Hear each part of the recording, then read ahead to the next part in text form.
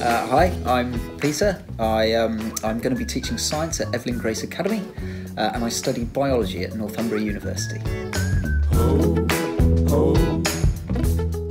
Uh, I guess I wanted to go into teaching because you know I benefited from from a great education.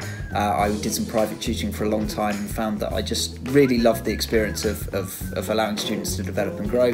Um, and I wanted just to take the next stage, um, go from private tutoring and get get my full teaching qualification.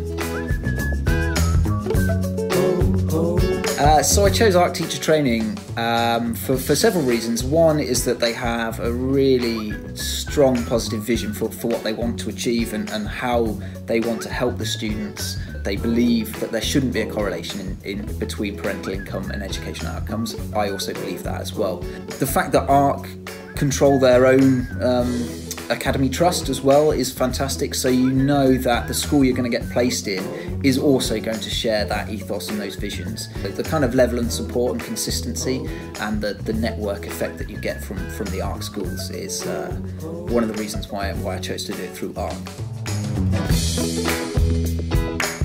I actually went through two matching processes with schools, which is quite unusual, I think. The first one, uh, it, it, didn't work out for, for some reason.